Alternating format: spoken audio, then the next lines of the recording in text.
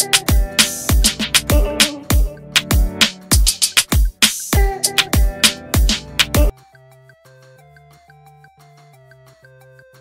ตพรตาม 2 เกมแซงชนะลิ่ว 16 คนปิงปองออลไทยแลนด์ การแข่งขันเทเบิลเทนนิส เก็บคะแนนสะสมประเทศไทย Central All Thailand Table Tennis Championship 2023 ประจำสนามที่ 2 ที่ศูนย์การค้าเซ็นทรัลนครราชสีมา จังหวัดนครราชสีมาระหว่างวันที่ 17 ถึง 20 มิถุนายน 66 เปิดแข่งขัน 16 ประเภทชิงเงินรางวัลรวม 284,200 บาท เมื่อวันที่ 18 มิถุนายนที่ผ่านมาไฮไลท์อยู่ในประเภทชายเดี่ยวทั่วไป รอบ 32 คนคู่ระหว่างสตพรเจิมปลังมืดบอดี้ทีมชาติไทยจากสังกัดกองทัพบก พบกับมนตรีพัฒน์นิธิเบญญาพิสมัยนักปิงปองจากสังกัดมหาวิทยาลัยธนบุรี โดยออกสตาร์ทมาเป็นทางนักกีฬาจากม.ธนบุรีที่เฉียบคมกว่า มนตรีพัฒน์คว้าชัยไปก่อนใน2เกมแรก 11-6 กับ 14-12 ทว่าหลังจากนั้นสตพรเริ่มตั้งเกมได้และใช้ประสบการณ์บวกกับความเหนียวแน่นพลิกสถานการณ์ไล่ต้อนคู่แข่งได้ 3 เกมรวด 11-9 14-12 และ 11-3 ส่งผลให้สตพรเจิมปลั่งจากกองทัพบบกชนะมนตรีพัฒน์นิธิเบญญาพิสมัยจากแกมทนบุรีไปสนุก 3-2 เกมผ่านเขาสู่รอบ 16 คนสุดท้ายต่อไปขณะที่ผลคู่อื่น ๆ ที่น่าสนใจประจำวันประเภทชายเดี่ยวทั่วไป รอบ 32 คนพัทรธรพัสระ ราชนาวี ชนะสุทธิพงษ์สมตระกูลมธนบุรี 3-0 เกม 11-7 11-6 11-5 ปัณทัศตั้งบวรพิเชษมธนบุรี ชนะภูเบศอาภาสัตเซนทรัล3-0 เกม 11-4 13-11 11-5 ภาคภูมิสงวนศิลป์เซ็นทรัล ชนะรัชพลรัศมีปลั่งมธนบุรี 3-0 เกม 11-3 11-9 11-3ประเภทหญิงเดี่ยวทั่วไปรอบ 16 คนนัดสิมาดีแกง เซนทรัลชนะชนิดาสีปราบ ไทยรุ่ง 3-0 เกม 11-6 11-9 11-2 ธันวรัตน์จันทนะ เซ็นทรัล ชนะวรรณเพนชัยพิเดช มกช ชัยภูมิ 3-0 เกม 11-3 11-2 11-3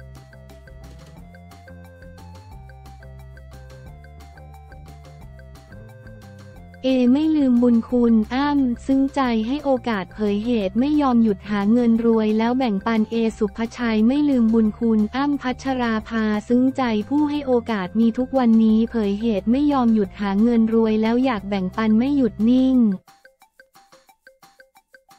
ลั่นจะทำงานไปตลอดชีวิต ผู้จัดการคนดังเอสุภชัยศรีวิจิตรเปิดตัวธุรกิจใหม่ A Secret Multi Collagen Plus Vitamin พร้อมให้สัมภาษณ์ถึงการไม่หยุดหาเงิน คนมองว่าเรารวยอยู่แล้วยังทำธุรกิจเพิ่มอีก พี่เอต้องดูแลคนเยอะแล้วเรารู้สึกว่าความขยันคือการไม่หยุดนิ่ง ก่อนหน้านี้พี่เอก็ไปบุกจีนไปดูโรงงานไปดูตลาดทุกอย่างแม้กระทั่งขั้นตอนการผลิต ผลิตภัณฑ์นี้ที่เอก็ลงโรงงานตรวจเองหมดที่จังหวัดสมุทรสาคร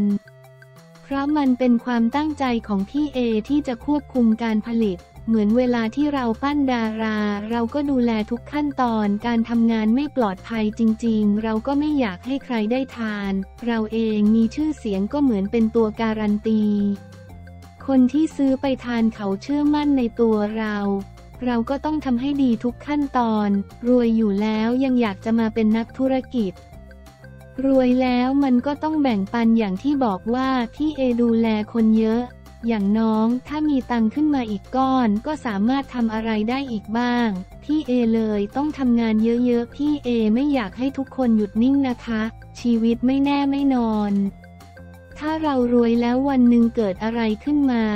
แต่ถ้าเรายังทำมาหากินอยู่พี่เอว่ามันก็ดีทำให้เรารู้สึกว่าเรามั่นคงนี่พี่เอยังไปเปิดแผงที่ตลาดเพื่อจะขายของอยู่เลย ขายพวกส้มตำพี่เอเหมือนพี่อ้ำเป็นคนที่หยุดนิ่งไม่ได้อะไรคือแรงบันดาลใจ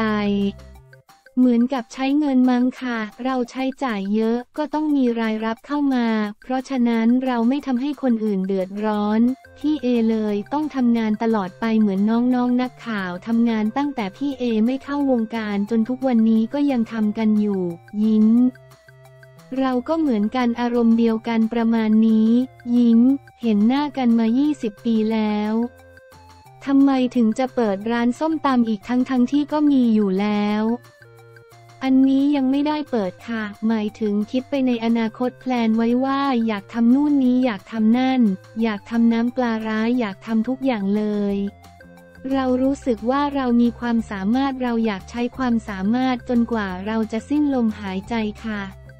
พี่เอรู้สึกแบบนี้งูบ้างไหม อ๋อชอบเลยค่ะ ไปฮ่องกงไปอะไรไปทุกอย่างเลยค่ะ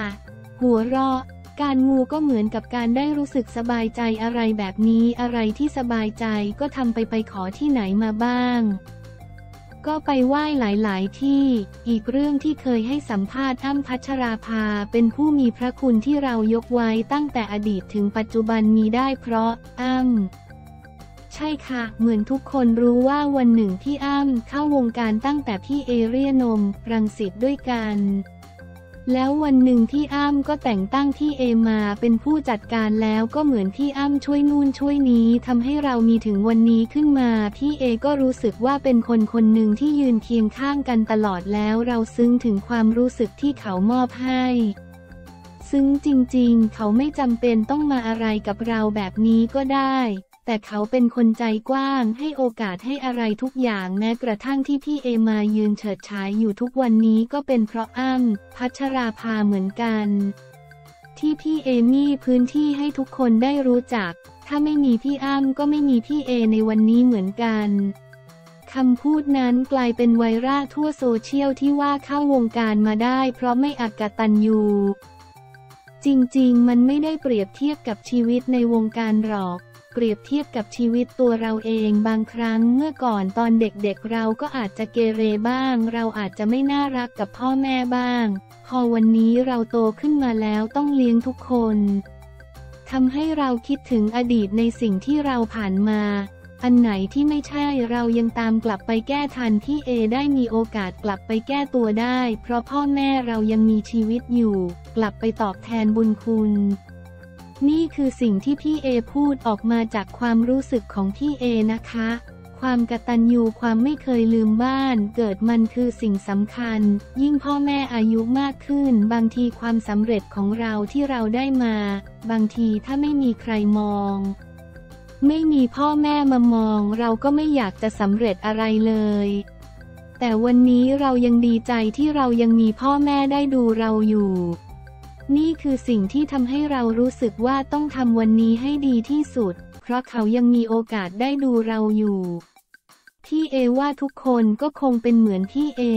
ที่ทำทุกวันนี้ก็เพื่อให้คนข้างหลัง คนต้นทางคนกลางทางได้เห็นความสำเร็จพี่เอเลย ต้องขยันทำงานทุกอย่างยิ่ง เรามีโอกาสได้ทำประโยชน์กับคนอื่น